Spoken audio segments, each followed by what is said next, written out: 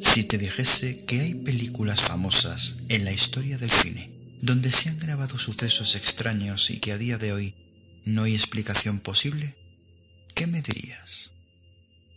Hoy te dejaré seis fragmentos de películas donde se han recogido sucesos extraños que no han tenido explicación.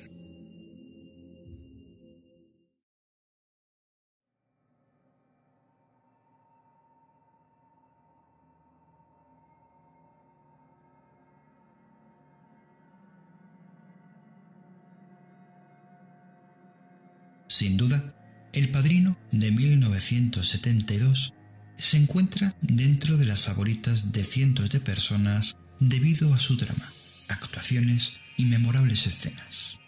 La primera escena de la que vamos a hablar sucede durante el funeral de Vito Corleone. En ella, durante unos instantes, aparece un extraño rostro.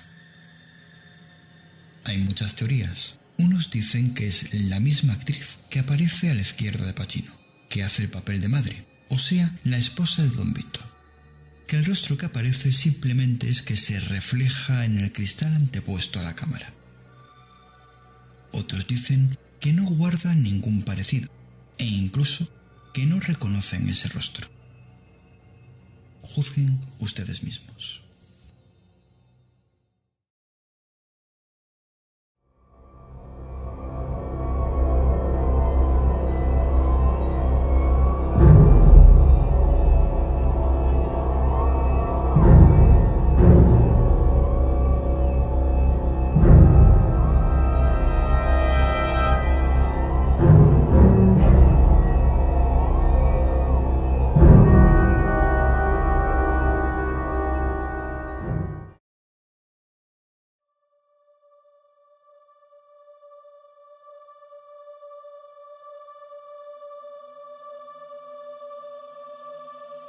Veneno para las Hadas es una producción de Mextrana del año 1984 del director Carlos Enrique Taboada. En sí, es una película sobre la brujería. Fíjense en este fragmento de la película cuando la madre coge la muñeca. El director aseguró que la muñeca no tenía ningún tipo de motor en su interior y que el giro que daba la cabeza del muñeco no tenía lógica.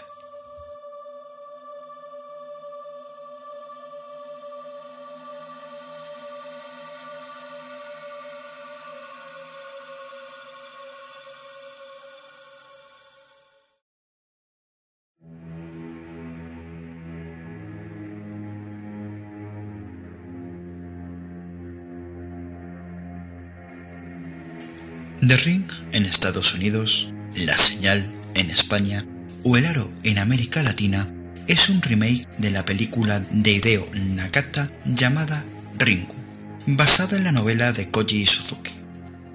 La película se centra en una cinta de vídeo maldita que contiene una serie de imágenes aleatorias, inquietantes y misteriosas.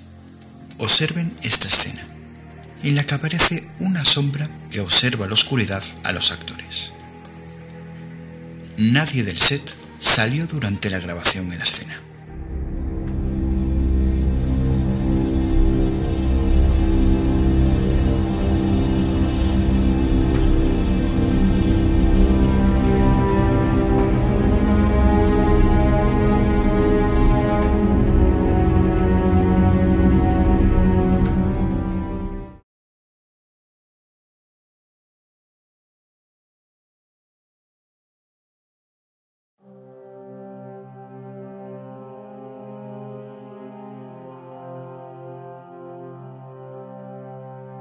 Pegado a ti es una comedia estadounidense del 2003 que trata de dos hermanos siameses que tienen un restaurante de comida rápida.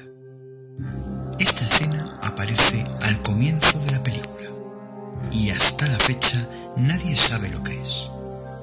Lógicamente, porque no pudo haber nadie durante la grabación.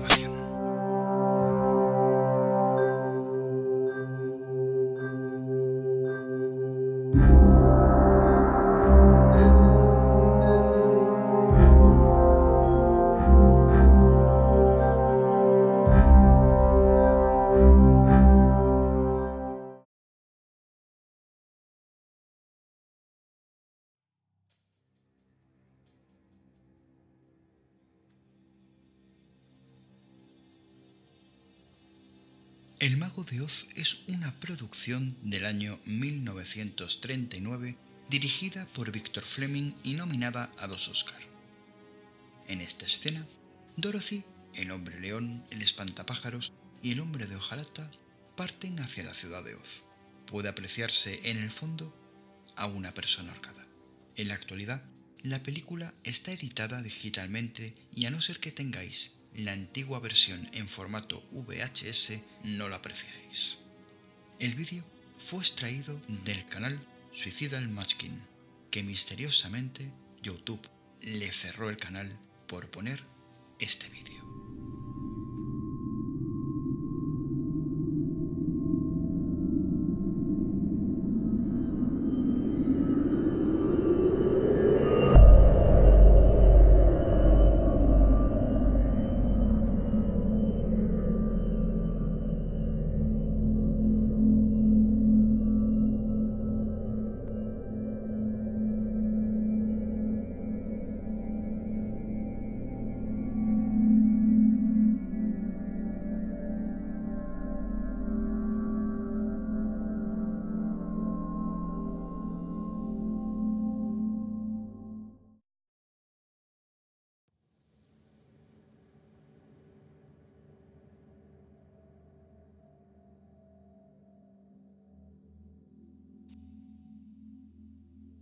Poco se sabe sobre esta película producida en 2013 con una cámara Babylon, de ahí el nombre de la película, y dirigida por Alex Monty Kanawat. Según se cuenta, se filmó en base a unos rollos de película que encontró en un callejón.